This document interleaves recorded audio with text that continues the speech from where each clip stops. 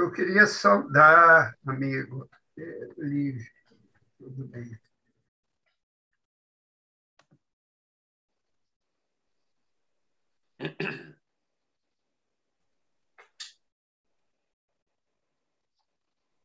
Eu queria só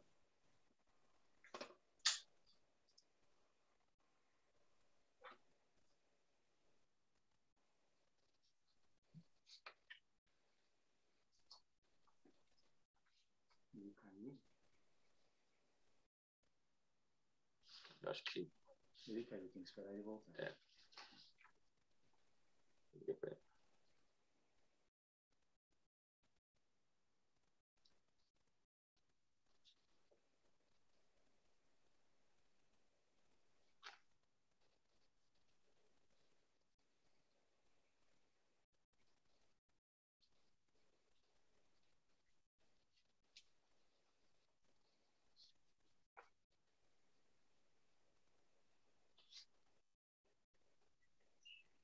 Caiu, caiu, caiu uh, isso. Sonejar só tem que abrir de novo. Acho que caiu o seu zoom ali. Isso. isso. Tá.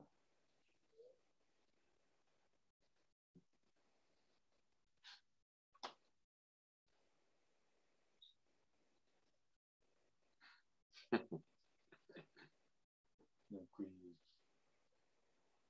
Aí. Diz quando eu entro.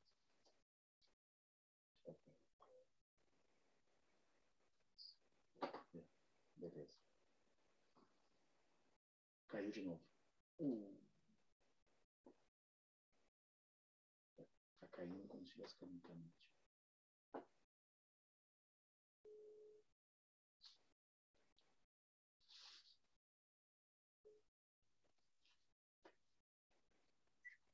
Isso, sem querer, acho que o senhor clicou no botão e.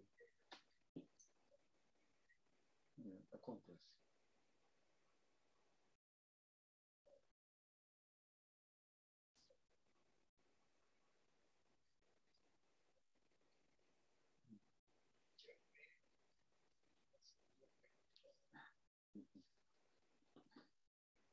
Tranquilo.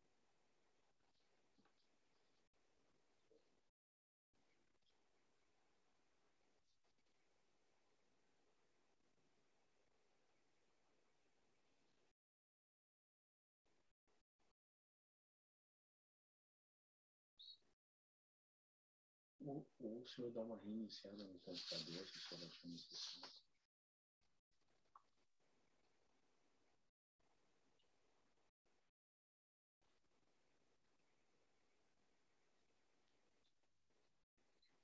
Para quem nos assiste, estamos aguardando o ingresso de Carlos Nejar, nosso convidado dessa sessão.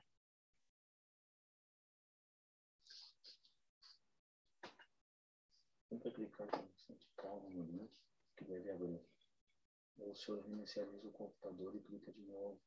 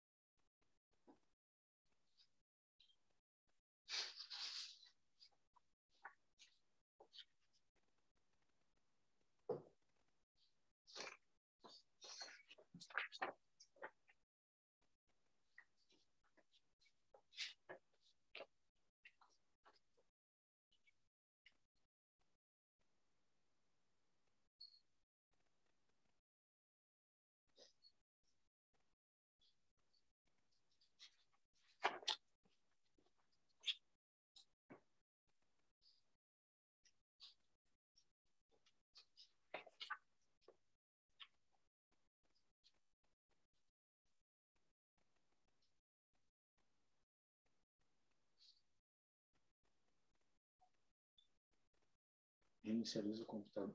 Reinicializa o computador. Bota. Isso, isso. Mas o senhor pode reiniciar o computador?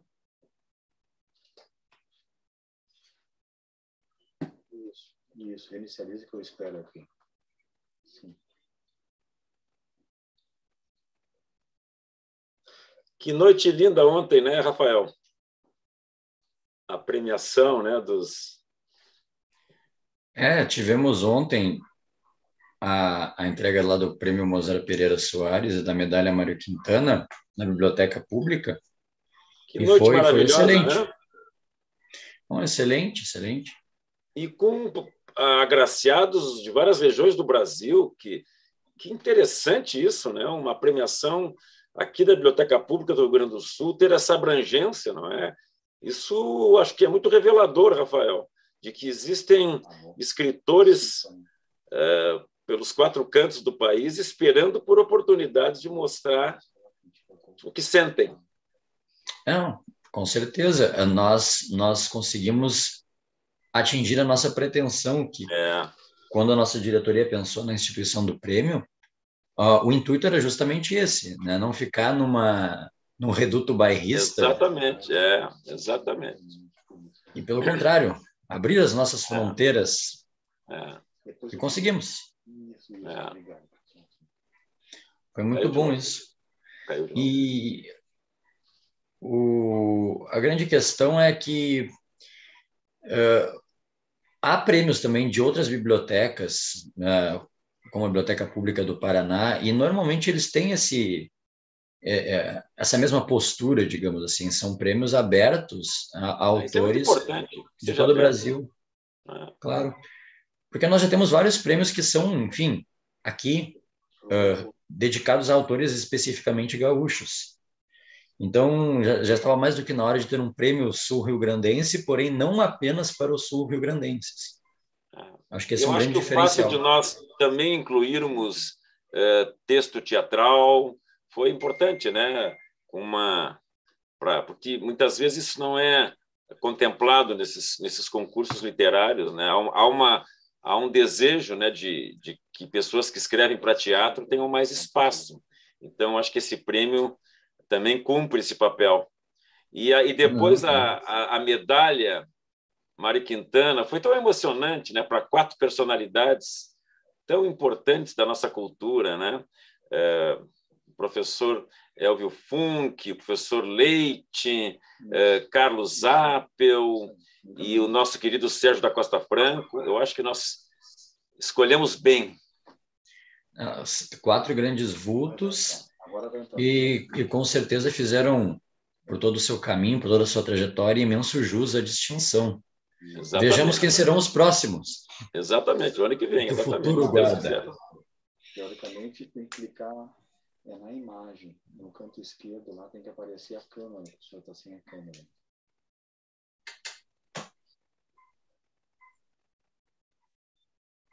Nós estamos aguardando o Carlos Nejar ingressar na, na nossa sessão.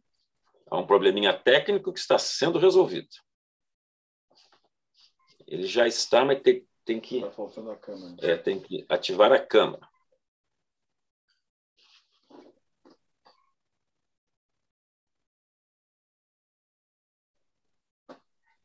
Caiu de novo. Caiu de novo. É um problema de internet, não é? Estou na internet. Caiu de novo. Vamos aguardar mais uns minutinhos. Eu peço desculpas a quem nos acompanha, mas essas coisas acontecem. É o preço da, da nossa comunicação eletrônica. Ó, Nejar volta, vamos ver agora. Ó, admitindo.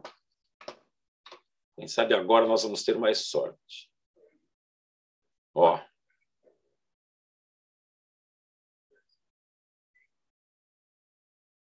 Espera um pouquinho, vamos ver se vai. Caiu de novo. não tem como a gente mesmo. Vai lá.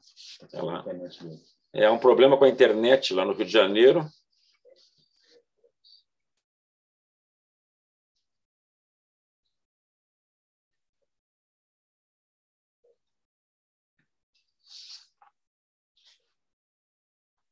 Chama de novo, por favor. Vamos, ver, vamos tentando, que até daqui a pouquinho deve voltar ao normal. O senhor estava normal né, no acesso.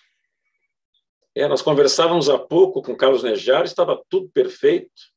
Eu imagino que logo nós possamos resolver esse impasse.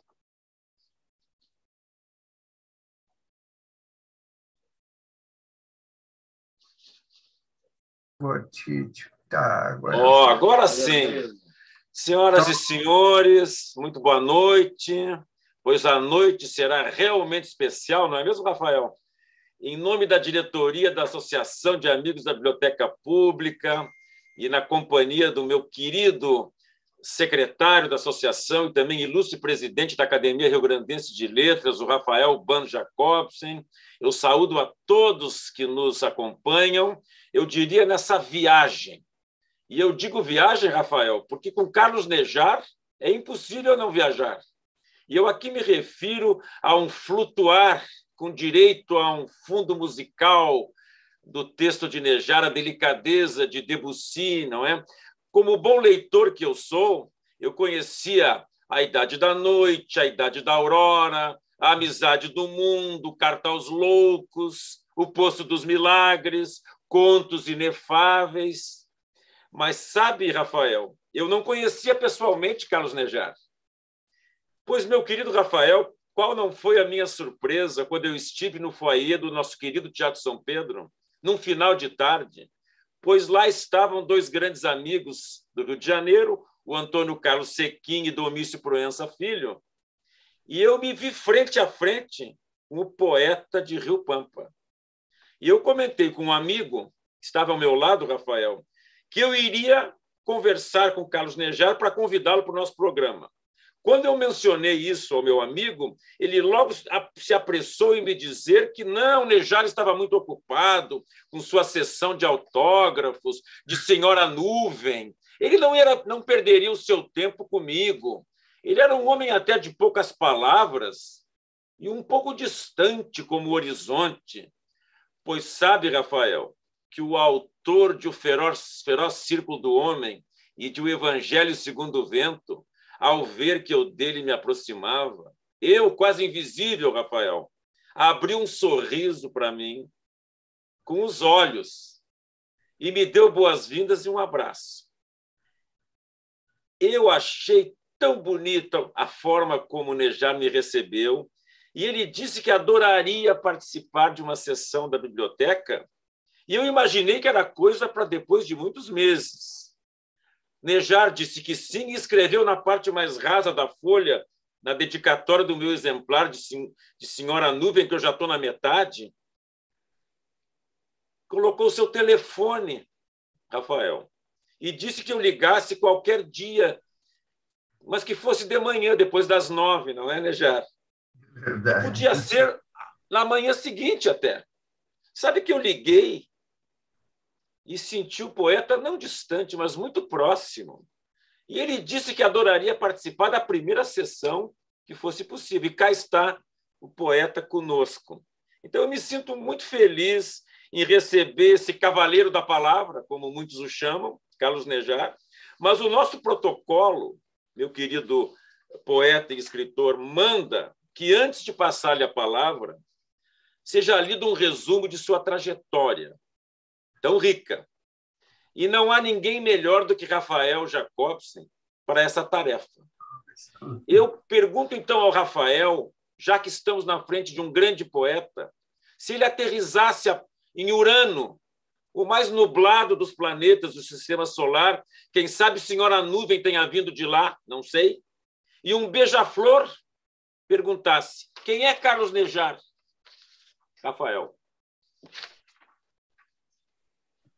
Pois é, esta é uma pergunta extremamente complexa, que poderia ser respondida de muitas e muitas formas, mas eu responderia dizendo que Carlos Nejar, fazendo alusão ao título de uma obra dele, é uma espuma de fogo. Né? É ao mesmo tempo uma figura assim flamejante e delicada, né? Ele tem essa, essa, essa coisa telúrica do fogo e, ao mesmo tempo, essa dimensão metafísica e fugidia da espuma. Ele é um intelectual multifacetado, em suma, né? sempre assim se posicionando entre as tensões antagônicas que falam tanto a todos nós, seres humanos, e elevando-as à enésima potência. Mas fora essa resposta um tanto quanto poética, podemos dizer assim, em termos mais concretos e factuais, nós podemos citar que o Carlos Nejar é poeta, ficcionista, ensaísta, também um eminente operador do direito, foi professor, e ele nasceu em Porto Alegre em janeiro de 1939. Ele é hoje, entre outras tantas distinções, o ocupante da cadeira número 4 da Academia Brasileira de Letras, sucedendo também ao gaúcho Viana Mug, nosso Viana Mug. E eu gosto de citar, sempre que eu posso, a respeito dos nossos convidados, o, os dados da sua formação né, primária e secundária, que às vezes fica tão esquecida é, os louros da vida madura, né? Mas é importante citar que o, que o Nejar ele fez essa formação básica aqui no nosso bem conhecido Colégio Rosário, em Porto Alegre, estudou na PUC, a Pontifícia Universidade Católica do Rio Grande do Sul, e depois de formado em Direito pela nossa PUC, ele fez concurso para o Ministério Público, onde ele varreu o Rio Grande, né, passando pelas mais diversas comarcas, entre elas Bagé, Itaqui, Erechim, Caxias e aqui Porto Alegre também. Outra coisa que eu gosto muito de citar, sempre que é o caso, e é o caso do Nejar, ele foi professor de português e literatura em muitos estabelecimentos estaduais de ensino. Professor da rede estadual, um corajoso professor, que os professores, especialmente de ensino básico, especialmente na rede pública, nós sabemos são verdadeiros heróis. E, enfim, o Nejar sempre, paralelamente à sua carreira como operador do direito, como professor, sempre se dedicou às letras, à, à poesia, à ficção também, e vem publicando livros desde a da década de 1960 em uma profusão tremenda. Sendo verdade que Nejar é, é um daqueles autores em que, se alguém declarar que conhece suas obras completas, há sempre que se encarar essa declaração com muito ceticismo, porque é uma obra gigantesca, gigantesca. O, Nejar, nas suas atividades culturais, além da vasta obra que produziu em ficção, poesia, ensaio, crítica, ele participou do Conselho Nacional de Incentivo à Cultura, também participou, ainda na década de 90, do Conselho Nacional de Política Cultural. Ele pertence também a outras academias, além da, da ABL, Academia Espírito Santense de Letras, Instituto Histórico Geográfico do Espírito Santo, Academia Brasileira de Filosofia, no Rio de Janeiro. E, bom, uh, entre outras, outras distinções, uh, podemos citar que, devido à sua seu notório saber literário, ele participou do júri do Prêmio Camões em 1997. Ele, além disso, ele, ele recebeu outras premiações de várias entidades, né? várias entidades entidades dentro e fora do Brasil, como, por exemplo, o, o Prêmio Fernando Chinalha, da UBE, União Brasileira dos Escritores. Ele recebeu o Prêmio Luísa Cláudio de Souza, do PEN Clube, do Brasil. Uh, também já recebeu o, o, o prestigioso Prêmio de Poesia da APCA, Associação Paulista de Críticos de Arte. E, e na área infanto-juvenil, que o Nejar também tem essa vertente, ele arrebatou o prêmio Monteiro Lobato e também o prêmio da, da APCA nessa categoria. E, e bem, uh, uh, aqui em Porto Alegre, já para falar um pouquinho das, das, das, do reconhecimento que a sua terra natal já lhe tributou, em 2007 o Nejar foi, uh, foi considerado, recebeu o título aqui na Câmara Municipal como cidadão emérito de Porto Alegre.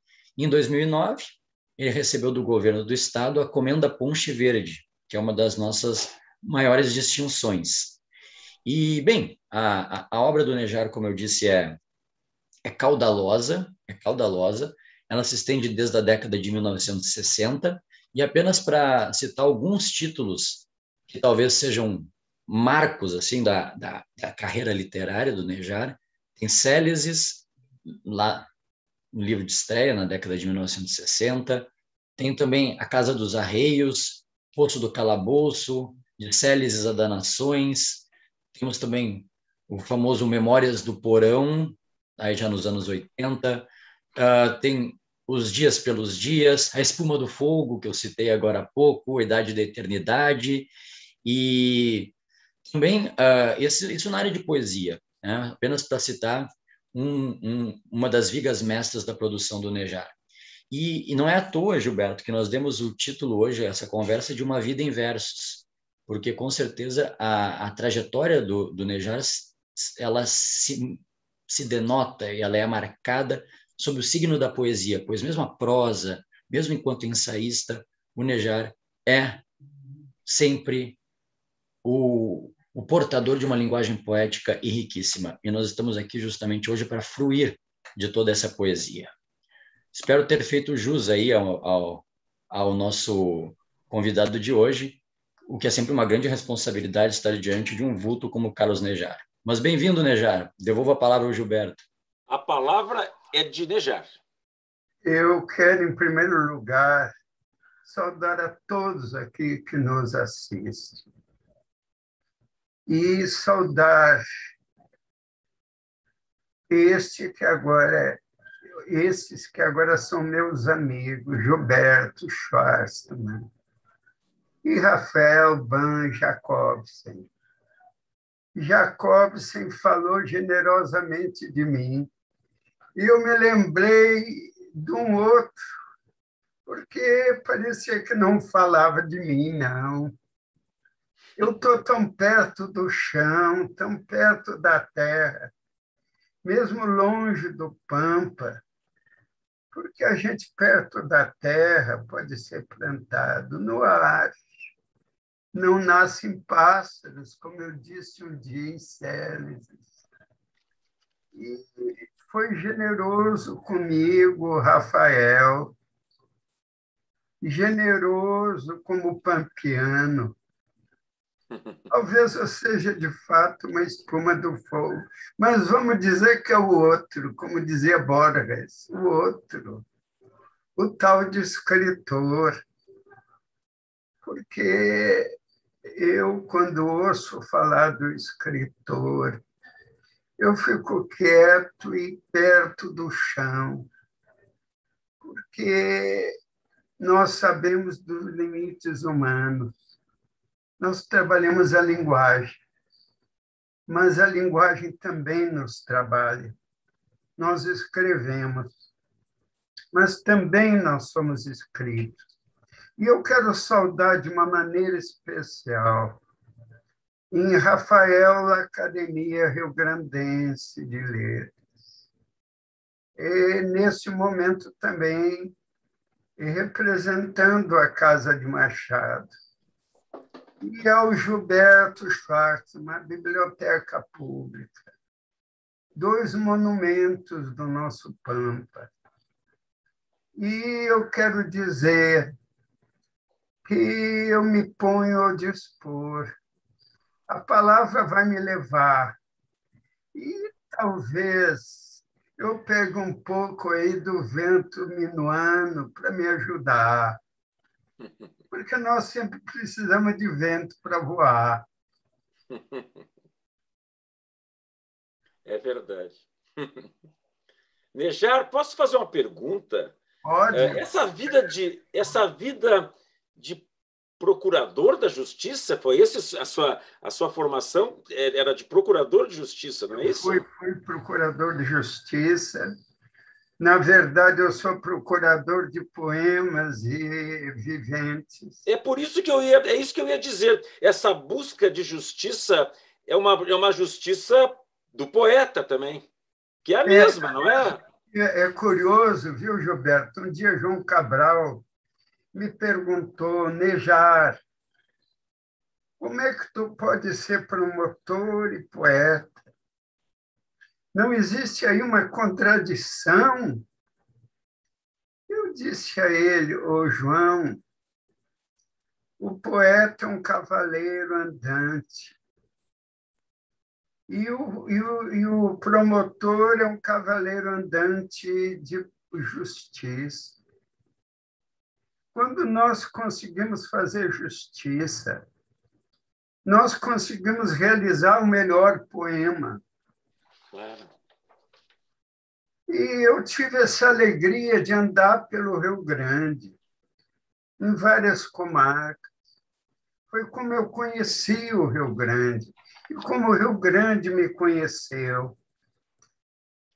Hoje eu estou longe aqui no Rio, mas não estou tão longe, não.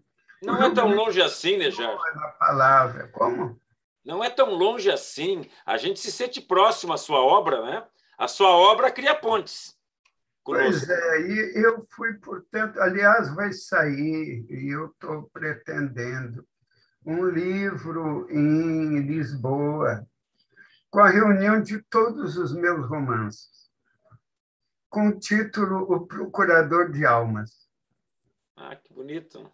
Eu acho que eu passei toda a minha vida sendo isso, as metamorfoses, os poemas, a poesia que é maior do que nós porque se ela fosse menor, seria meio duvidosa, não é? Ela tem que ser bem maior. Nejari, nesse momento que nós vivemos, com essa barbárie que nos que sobrevoa essas nuvens que a gente tanto preza e ama, não aumenta a importância do, da palavra, da, da literatura, do poeta? Não é agora que a gente tem que lutar pelo espaço? Gilberto, cada vez mais. A palavra permanece. E, usando, parafraseando Guimarães Rosa, a palavra se encanta e nos encanta. E o que é encantado fica. É perene. E não adianta ninguém vai conseguir impedir a criação contemporânea. Porque se nós não estivermos na luz, nós vamos para as catacumbas. Mas a poesia, a criação vai sobreviver, a cultura vai sobreviver, porque passam os regimes, passam os sistemas. O espírito permanece, a criação permanece. Claro. E Nejar... Eu tenho uma pergunta para o Nejar. Ah, pois não, Rafael, Gilberto. por favor. Por favor, Rafael. Ele, ele, o Gilberto usou agora uma metáfora que eu achei. O, o nosso convidado Nejar usou a metáfora do calabouço, das catacumbas, né? Sim. E eu queria perguntar a ele o seguinte: Independente do ambiente externo, da conjuntura do mundo, uh, para fazer poesia, não é sempre necessário descer as catacumbas em alguma medida? É. Por isso que eu escrevi As Memórias do Porão. Porque nós precisamos conhecer o porão para conhecer a luz do dia Há porões na criação, coisas que nós só conhecemos criando e nos reconhecem. E, e esses porões, eles vêm à luz. E um dia conseguem até voar porque eu acho que aquilo que a gente pensa, é aquilo que a gente sonha voa. Ninguém pede. Aliás, a poesia voa com as palavras. Elas têm que ser mais leves que a palavra para poderem voar.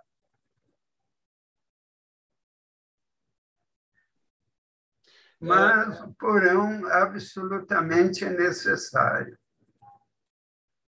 É, eu queria lhe perguntar. A gente vai memoriando, né, Gilberto? Claro. Deixa eu lhe fazer uma pergunta que todo mundo pergunta para todo mundo que gosta de literatura. Essa questão do livro que a gente toca e que a gente abre e a gente lê, fecha e depois abre novamente, tem esse convívio essa intimidade com o livro, que é uma coisa que leva tempo, não é algo instantâneo. Como é que isso convive com esse mundo tão tão veloz dessa tecnologia, né, Jar?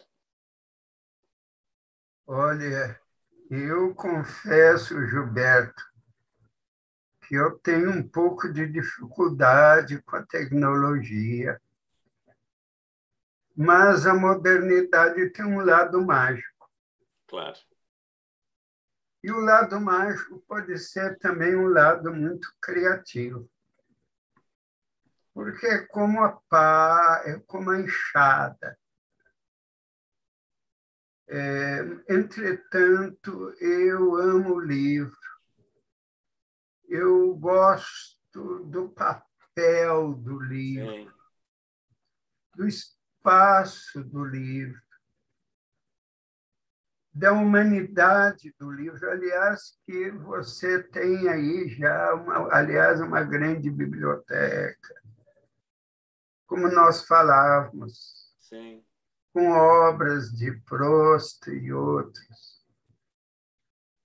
A biblioteca é algo que sobrevive conosco Eu tenho uma pergunta, Nejar, sobre a biblioteca. Já que tu falaste da biblioteca. Como? Tu falaste da biblioteca, né, que citaste a biblioteca do Gilberto, falaste da, da importância que tem a biblioteca, até mesmo enquanto símbolo na vida de um intelectual. E eu queria te consultar sobre um, um aspecto que sempre me intriga quando eu me deparo com figuras que são grandes intelectuais, como é o caso do Gilberto e o teu caso também, que é o seguinte: o intelectual ele cria a sua biblioteca, que é sempre repleta de preciosidades, que dizem muito sobre as suas inspirações, suas influências, enfim, as suas questões de modo geral.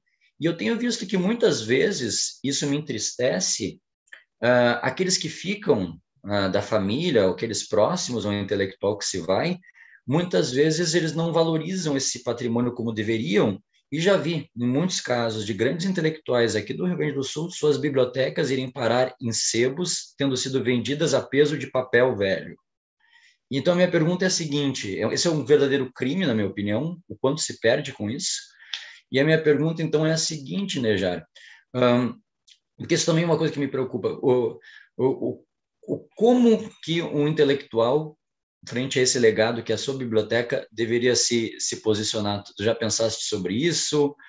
Como direcionar essa herança que faz parte, enfim, também da sua contribuição para o mundo, que é a biblioteca pessoal? Olha, você tocou num assunto, eu vou usar tu, viu, Rafael, que é a nossa fala pampiana. Ô, Rafael, tocaste num problema sério. O escritor ama sua biblioteca.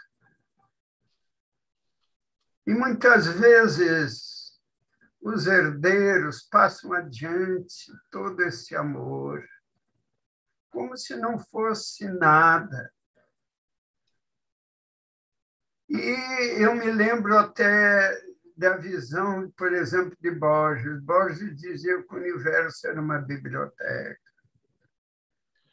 Nós nos apegamos à biblioteca como ao universo, porque a biblioteca, com os livros, tem toda uma tradição de séculos. Nós não falamos apenas com os contemporâneos. Nós falamos com os antigos, com os clássicos, com as gerações. Então, aquilo que é de amor deve continuar no amor.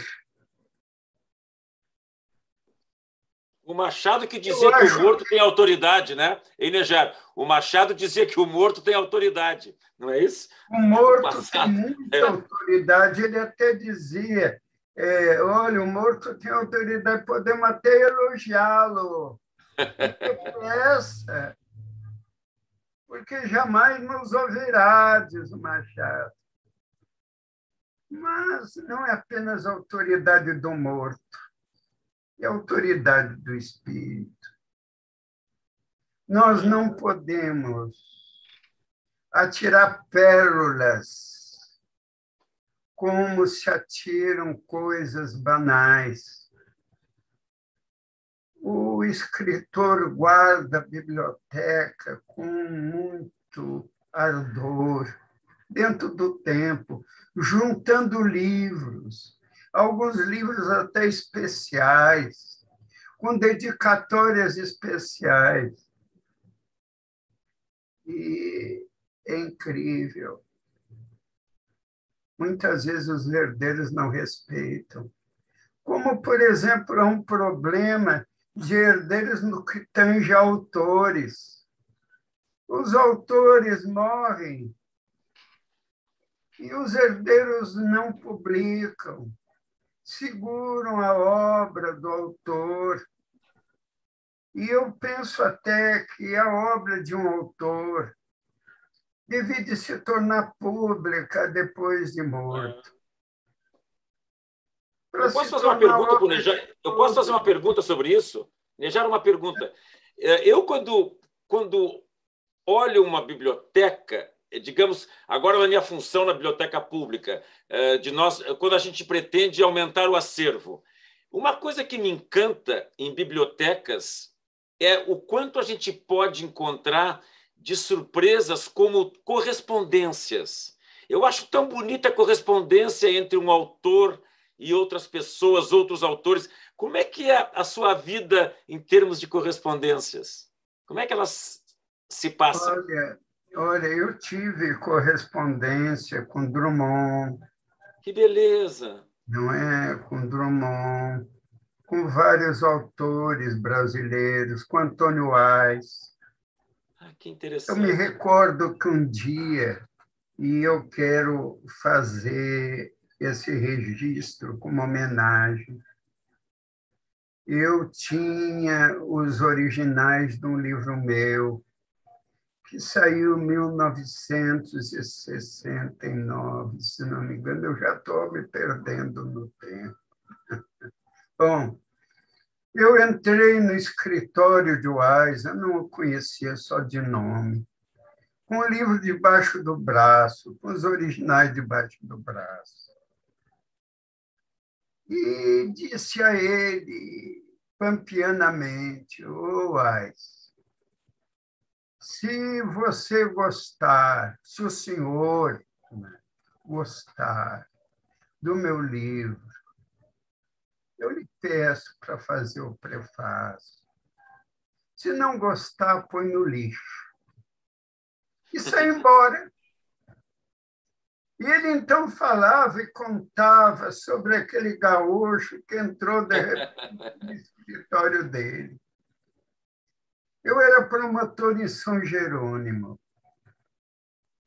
E um dia eu recebo a correspondência de Uais. Era um prefácio imenso. Que beleza. Eu li porque o Ais era muito difícil, muito complicado quando escrevia e muito simples quando falava. Ele foi tradutor de Joyce. Então, eu li na primeira visão e disse: será que ele, tá, que ele não está gostando da minha obra? Porque eu, sinceramente, na primeira leitura, eu não entendi muito. Aí depois, uma outra pessoa leu e disse: manejar. Ele está fazendo altos elogios para ti. Aí depois eu fui examinar melhor, lógico, porque as palavras, viu, é, Gilberto, Rafael, as palavras vão se abrindo. Claro não é como se fosse um horizonte, ou as páginas de um livro vão se abrindo. Então, é, aí eu reconheci o trabalho generoso dele. Eu era um desconhecido. Hoje ainda eu, conheço, eu continuo, num certo sentido, desconhecido, porque o tal vivente nejar é, se separa um pouco do tal de escritor nejar.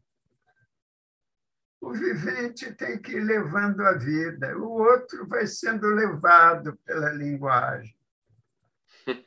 Então, de repente, nenhum dos dois se encontram, não é? Mas tem que se encontrar em alguma parte da memória. Eu acho, Dejar, que, eles, que esses dois se encontram, e eu já notei na nossa conversa de hoje que eles se encontram no Pampa. Eu acho que esse Pampa é o universo de onde tudo sai é verdade. do Nejar, ou não? É verdade. O Pampa, para mim, é o universo. E a minha terra está no que eu escrevo, mesmo que eu não a mencione, ela sempre aparece. E eu tenho muita saudade. Mas não adianta, nós temos que continuar vivendo, não é? E a saudade que nós temos jamais envelhece a gente vai levando, não é? Vai criando e criar uma felicidade. Aliás, eu estou falando de Borges. Borges dizia que é a felicidade das palavras. Mas eu não acho só isso, não. É a felicidade do tempo, a felicidade da memória e a felicidade da terra que está em nós a terra germina e nós somos semente. Sabe, Nejar, sempre que tu. Perdão, Gilberto. Não, não, é que sempre favor. que o Nejar fala de si mesmo, sempre que ele fala de si mesmo, ou quase sempre, eu percebo essa, essa forma de se expressar através da dicotomia. Ele eh, falou agora há pouco para nós do o Nejar, o tal do escritor, e o Nejar, o, o vivente. Né? E, e, isso me recorda um, um, poema do, do Nejar, que também apela para essa dicotomia, ainda que em outros termos. Uma, um poema de uma das obras mais do início da carreira, vamos chamar assim, do, do Nejar, em que ele escreveu assim, ó, se quiserem saber quem sou, não sei quem sou. Só sei que em mim a sombra e a luz são vultos que se buscam e se amam loucamente. Então, uh, eu acho que isso, veja a constância da, da imagem nessa autorreferência que o Nejar faz e como eu percebo, Nejar, em ti essa preocupação com as, com as ambiguidades do ser humano, como o ser humano é, talvez por natureza, vamos chamar assim, um ente partido ao meio, em que sempre dois opostos estão em conflito para tentar construir uma certa unidade. Eu acho sempre isso tão bonito quando tu fala, né, já, tão significativo. O Rafael, está muito bem você, tu, tu apanhaste isso lucidamente. Porque eu, como, como ser humano, eu me sinto perto do solo para ser plantado. Agora, como criador, eu vou. Eu, como homem, não posso voar. Eu sinto chumbo da condição terrestre. Mas, como palavra, eu vou. Porque há um lado de pássaro na poesia, o lado de ave, o lado de canto, não é? E que às vezes pousa na árvore da palavra e pode transformar as coisas. Mas, na verdade, o Rafael, o, o Gilberto, são as coisas que nos transformam a criação que nos transforma.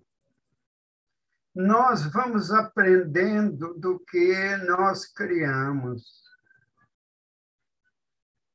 Nós vamos sendo gerados pela nossa própria criação, porque nós somos gerados no espírito, que não morre. Eu acho que essa é a esperança. Nejar, deixa eu te perguntar sobre isso. Eu noto muito, ah, assim, ah, sempre há um, há um, há um voltar ao Pampa. Eu acho que essa, esse ar da, da fronteira, desses limites imprecisos e até que se expandem, o gaúcho, o épico, o simples, e aquela doçura, porque quando eu leio as suas obras, eu acho tão complexo e tão simples ao mesmo tempo. Eu acho que essa simplicidade, quem sabe isso foi aprendido uh, nessas andanças e conversando com os tipos até mais simples. Foi isso também? Como sabe, Rosa, por exemplo? Gilberto, eu me lembro até de um verso do meu querido filho, Fabrício Carpinejar. Ele disse: Pai, volta ao Pampa, Pampa, volta ao Pai. Que linda. E essa, é, esse retorno sempre acontece na linguagem. Mas na, na, na tua questão, Gilberto, que tu me falaste, eu, eu, eu me sinto muito perto, sim, daí. Eu sinto essa respiração. O minuano bate aqui na minha janela, aqui, uhum. tem, no, neste lugar onde eu moro, aqui no Flamengo. Eu sei a forma como o minuano bate, como ele soa, como ele soa tendo coração. Ah, eu me lembro muito do interior, das pessoas que eu conheci no interior e que eu aprendi muito com essas pessoas, sem os homens simples. Não é? Eu me lembro, por exemplo, em Itaqui, falavam o gadinho, me lembro, o gadinho. Uhum. Ou então, em São Jerônimo, eu um dia, numa audiência, eu ouvi Olha, meu, meu inimigo me acendeu uma bala no meu ombro. Nós vamos aprendendo esse linguajar. Sim. Vai entrando na nossa criação. Tanto que eu tenho um poema em canga que diz assim: Eu aproveito tudo isso, vou acender uma bala onde uma ave não voa. Se é por sustento forte, eu como a morte. Esse como a morte era quando eu queria comer uma comida e me disseram: Tu não deves comê-la. E eu disse: Se é por sustento forte, eu como a morte. E tudo se une na poesia. O visível e o invisível. Há uma unidade que, dentro da minha visão, o homem é uma unidade. Mesmo contraditório, mas é uma unidade. Lógico que eu lembro, eu lembro das comarcas, eu me lembro do povo, de como eu aprendi com muita gente do povo. Nejar, tu mencionaste o cavaleiro andante. Eu acho essa figura tão linda, essa figura do cavaleiro andante. O poeta é um cavaleiro andante. E eu acho que o promotor de justiça também é um cavaleiro andante que vai de lugar em lugar e vai pescando as coisas do ser humano, não é? As suas, eu queria lhe perguntar sobre a justiça. Como, é, como, fica o coração de um poeta e um promotor ao mesmo tempo e essa a justiça no mundo? Olha, eu eu devo muito ao Ministério Público. Eu fui de um tempo pioneiro. Nós trabalhávamos no interior do Pampa, enfrentávamos os júris, os processos, o promotor atende os necessitados. O Ministério Público é uma força. Eu jamais vou esquecer do Ministério Público. Eu, quando, por exemplo, tomei posse na academia, eles me deram a medalha. E aquela medalha ficou perto do coração. E eu confesso que é lógico que é difícil a realização da justiça, nós somos homens. Mas eu jamais tentei jamais deixei que se amarrasse a injustiça no carro e na, eh, na andança do promotor. E o cavaleiro andante me faz lembrar o tempo fidalgo, cortês. A cortesia é alguma coisa que está desaparecendo no nosso mundo a cortesia, o respeito às diferenças, aos antagonismos. E nós temos que reaprender a fidalguia. Eu um dia eu escrevi um livro chamado O Campeador e o Vento. Saiu em 1966. Veja quanto tempo passou. E um dia o Wilson Martins generosamente disse que eram os Lusíadas do Gaúcho. Uhum. Eu não chego a dizer isso, mas o campeador, o campeiro, como o homem do Nordeste é, sobretudo, um forte, usando a palavra que foi usada por Euclides da Cunha. O nosso povo é um povo maravilhoso. Eu estou falando do nosso povo, me referindo ao Rio Grande. Generoso. Meio desconfiado, mas sempre generoso, desbravador, vencedor de fronteiras.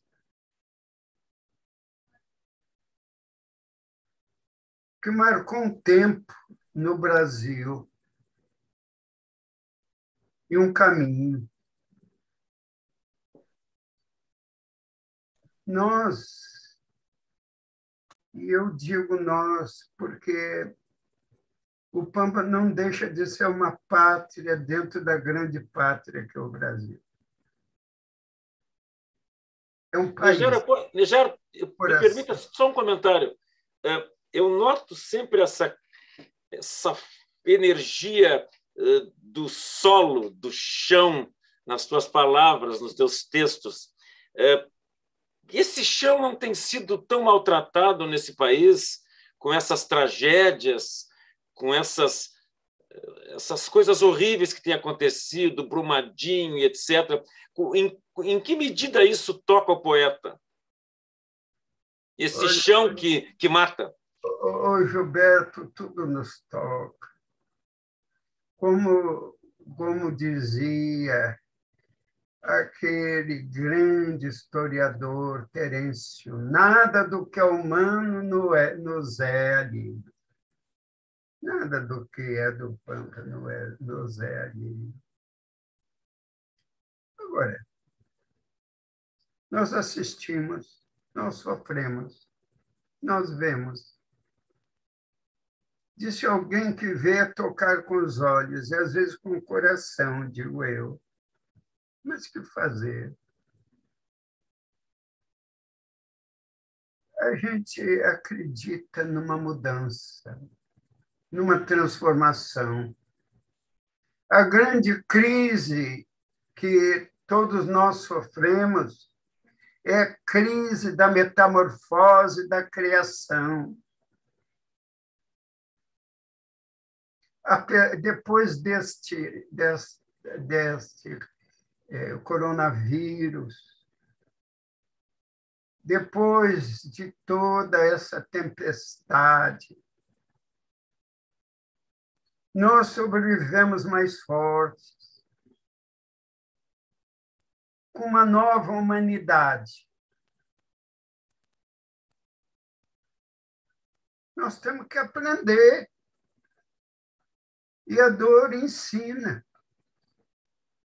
Mesmo que a gente não queira, ninguém gosta da dor. Mas a dor acostuma. E até pode se tornar alegria. Na palavra, Gilberto, a dor é alegria.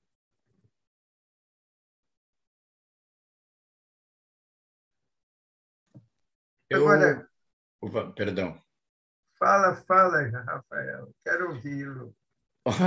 Sabe, quero... Nejar, é que você e o Gilberto, tu, perdão, tu e o Gilberto colocaram aí, pendurados diante de mim, dois ganchos importantíssimos, que são, na verdade, quase como que chaves de leitura, ao meu ver, para a tua obra, e que eu não posso, portanto, deixar passar batidos sem provocar um pouco mais nesse sentido.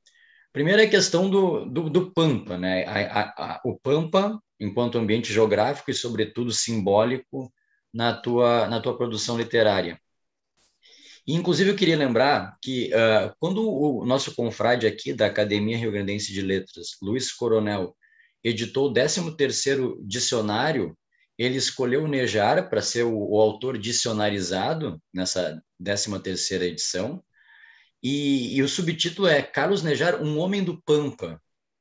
Né? Salvo o melhor juízo, era esse o título, o subtítulo que o coronel colocou, muito propriamente, aliás, uh, em reforçando essa, essa, enfim, esse, essa influência forte do Pampa como cenário mítico, vamos dizer assim, na, na tua criação, Nejar.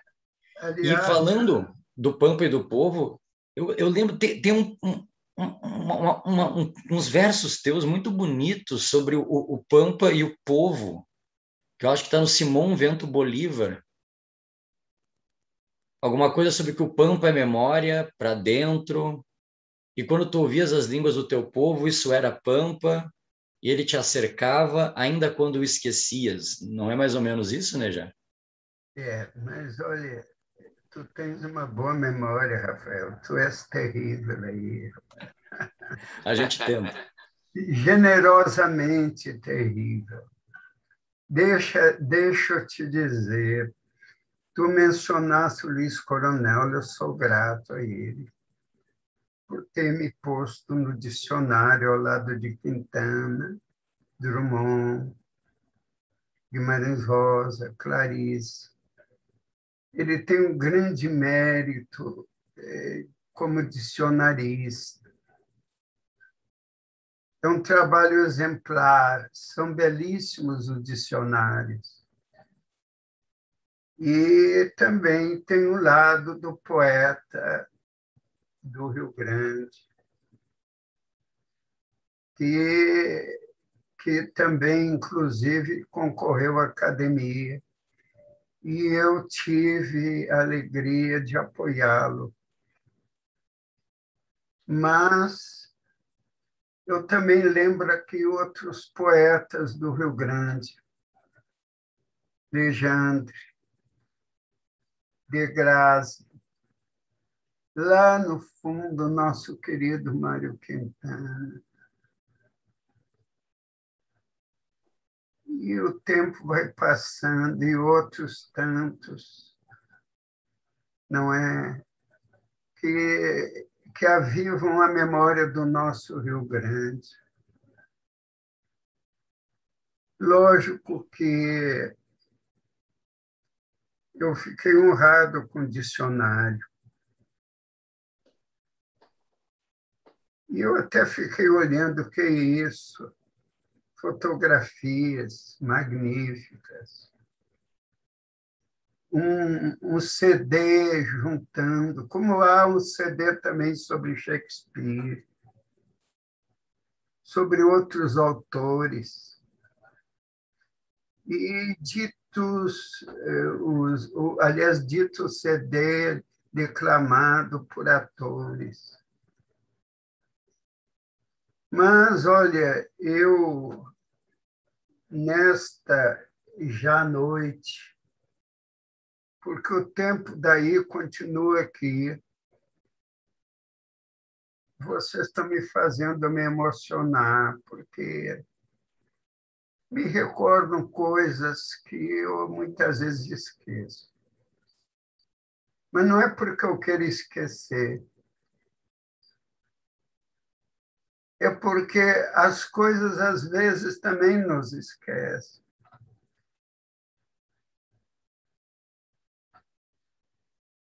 E, e versos que citou do Simão Vento Bolívar.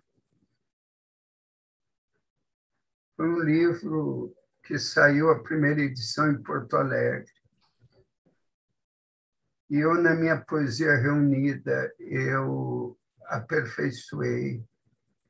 Eu acho que a palavra, viu, sempre tem que ser aperfeiçoada. Eu só tive uma vez uma experiência estranha. Eu tenho o livro Subion, que eu publiquei em 1963, numa edição modesta, que um amigo meu de grande memória, chamava-se, foi meu professor, irmão Elvo Clemente, do Rosário. Elvo Clemente. Ele publicou por conta dele. E eu depois, eu tive diante de mim a possibilidade de novos livros é, de Subion, e na outra edição, eu fiz mudanças. E é curioso que o que eu mudei me apareceu um dia em sonho, me, me aparecia só o original. No fim, eu voltei à forma original do livro. Parecia que o livro original exigia de mim permanência, que eu não podia modificá-lo.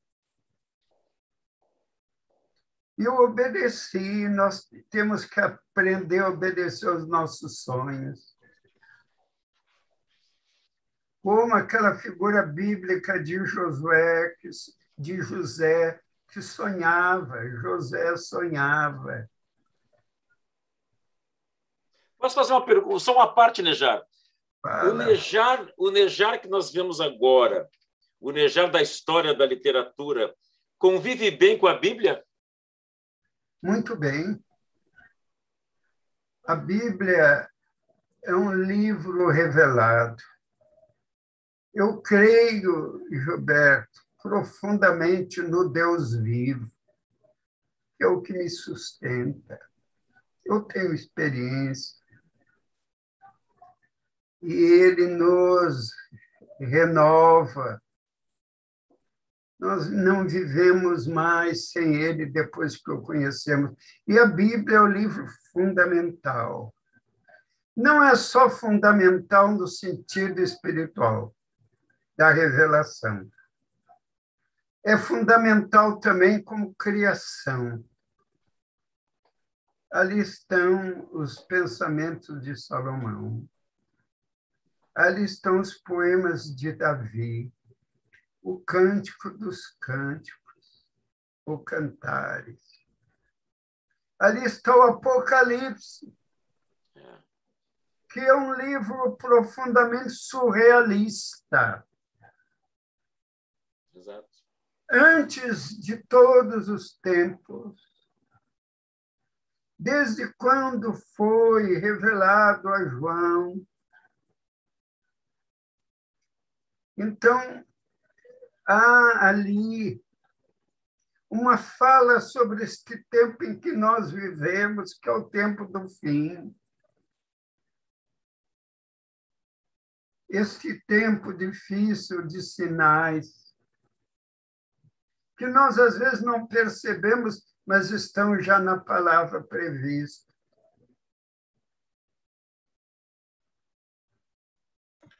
O Apocalipse, né, já que tu citas agora, é realmente um livro muito repleto, de símbolos, e tão repleto de símbolos que ele volta a um tema que tu citaste, que é o tema do sonho. Ele tem um clima todo muito onírico. Onírico, né? E eu acho que tem uma citação tua, né, já sobre o sonho. Tu disseste que nós temos que aprender a obedecer os nossos sonhos. E, e tu, acho que tu dizes o porquê num verso lá do Joana das Vozes, que, que diz basicamente que o sonho é quem prepara o ancião de cada homem por dentro do menino.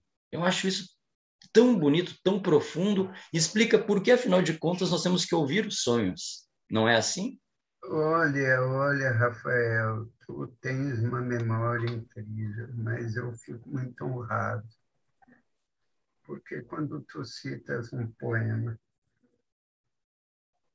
tu entras dentro de uma memória, que é a memória dos sonhos. Agora, o Apocalipse é um livro profético.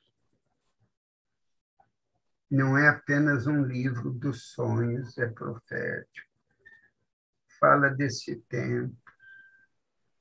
Fala de tocar de trombetas. Fala, inclusive, nós podemos ler no Apocalipse deste tempo que nós aqui sofremos com esse coronavírus. Das pestes, das guerras, né? Claro. O cair da tocha com o vírus e se estendendo aos rios, o rio fala do homem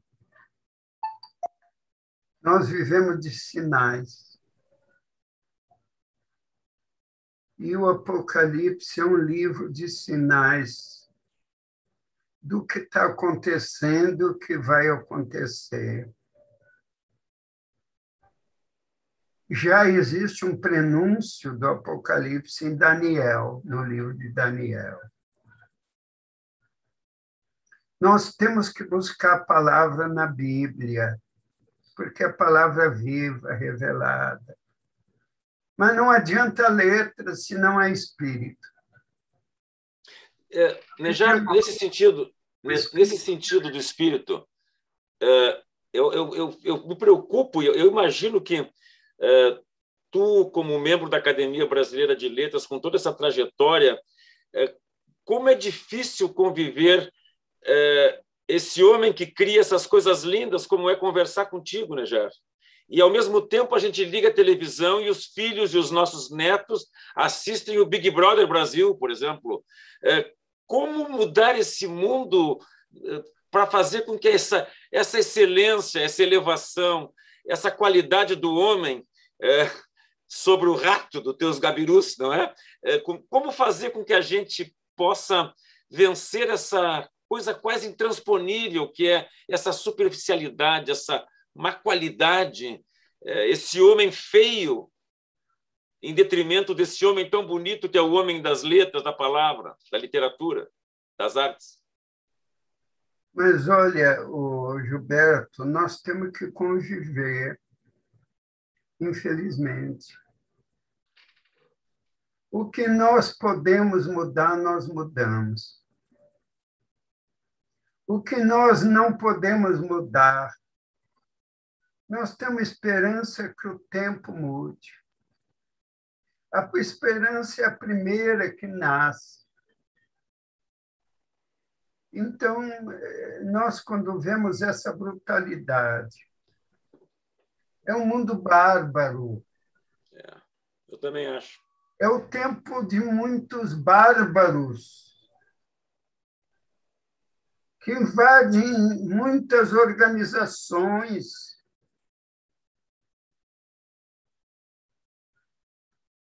Mas isso não quer dizer que nós não acreditemos numa mudança. Eles vão passar. Como dizia o nosso Mário Quintana, eles passam, nós passarinhos. É. parafraseando o poeta, meu irmão no tempo. Rafael, nós estamos chegando ao final desse nosso programa. É uma pena. Mas Eu já? ficaria horas com o Nejar. É, quer, queres fazer algum comentário antes da gente dar a palavra final ao Nejar para que ele se despeça dos gaúchos? Ah, eu, eu teria tantas, tantas coisas para falar. eu também, disseste, eu também, Nejar. Rápido que fazer outra. Vamos ter que marcar mais uma. É. Mas eu queria dizer assim, da minha satisfação em poder ter conversado com o Nejar assim mais de perto e, e, e saber um pouco mais de algumas facetas dele, como, ah, digamos assim, ah, essa influência que ele recebe como uma pessoa que lê, que reflete sobre os textos sagrados, sobre a Bíblia, coisa com a qual eu muito me identifico. E, em especial, ele fala do livro do Apocalipse, me lembrou muito o Evangelho segundo o Vento, que é uma narrativa que a mim me encanta muito e que tem uma clara inspiração apocalíptica. Lá no personagem do João, do livro, é, é- ele é quase um, um- um- enfim, o apóstolo João personificado ali naquela criatura de, de palavras, obra do Nejar. Tem lá alusões à, à própria ilha de Patmos, onde, onde foi redigido o livro do Apocalipse. É um dos livros que eu acho, assim, da- das narrativas, das ficções do Nejar, é um dos que mais me encanta. E eu queria, então, como eu lembrei disso agora, deixar como uma dica de leitura para aqueles que, porventura, estejam nos assistindo, não conheçam talvez tanto da obra do Nejar e queiram ter assim uma primeira recomendação. Eu diria, pessoal, além dos poemas, leia o Evangelho segundo o Vento, que revela muito dessa faceta que o Nejar generosamente compartilhou conosco hoje, desse influxo bíblico que tem nas, na, na escrita dele. Então, era isso, Gilberto. Estou muito contente Eu- mesmo. Eu estou muito feliz com essa reunião. Olha, estou emocionado. Nejar, eh, eh, diga algumas palavras de despedida antes do meu encerramento, porque eu acho que isso não é um, um fim de uma reunião. Nós vamos continuar essa, essa nossa troca de, de palavras, de emoções, no- logo, logo. Acho que a gente tem que repetir essa sessão, porque eu acho que Nejar merece muito mais do que uma sessão única, pela, pela figura que representa. Então, meu querido Nejar, Gilberto, Rafael, eu que tenho que agradecer muito. Agradecer esse momento de eu poder falar com todos os que nos assistem. Falar também no tempo do Pampa, num tempo de uma infância do futuro em que eu creio, num tempo de amor que nós precisamos forjar, num tempo da palavra que não se apaga. Eu quero, nesse momento, abraçá-los e abraçar o nosso Rio Grande e todos aqueles que nos assistem. E eu quero agradecer também esse privilégio de poder estar aí, de poder estar com todos. Porque escrever é estar com todos. Nejaro, eu acho que foi o Fernando Pessoa que ele dizia que, que, que, era uma, que era escrever era uma poesia, era uma coisa de solidão, né? solitária. É o contrário para ti, né? Para mim, é o contrário. É um abraço. É um abraço. Pessoa né? precisou criar os heterônimos. É, para fazer frente à solidão. Então, Mas olha, é tão bonito, né? Solidão. É. Cada um deles tem uma vida própria. Exatamente. É? Mas olha, Nejar, eu queria te agradecer em nome dos gaúchos, em nome da Biblioteca Pública do Estado do Rio Grande do Sul, em nome de todas as instituições culturais, porque eu acho que nós temos que valorizar, nós temos que homenagear os nossos grandes homens, sabe, Rafael? Porque os nossos jovens precisam de modelos, eles precisam de alternativas, de exemplos diferentes desses que eles veem todos os dias na televisão, só mostrando um país de trapaças, de superficialidades, de, de, de jogos de interesses. Nós temos um Brasil tão lindo que é o Brasil da cultura, das artes. Nós temos um gaúcho nos representando na Academia Brasileira de Letras, com, com uma trajetória como Nejar. Eu aqui olhando o Senhora Nuvem, que eu vou mostrar para todos, que comprem, é a última obra do Nejar. E na, e na página 11 ele diz, vice Rafael, ele diz assim: todos têm sua nuvem, só que alguns nunca descobriram. Então, abram um livro, quem sabe vocês descobrem as coisas que Nejar quer nos dizer. Meu querido Carlos Nejar, muita honra tê-lo conosco e até a próxima oportunidade, que será logo, logo, muito em breve. Um grande abraço a todos que nos acompanham, um abraço, Rafael, e até a próxima sessão. Muito obrigado, Nejar, querido. Tudo de bom, muito obrigado.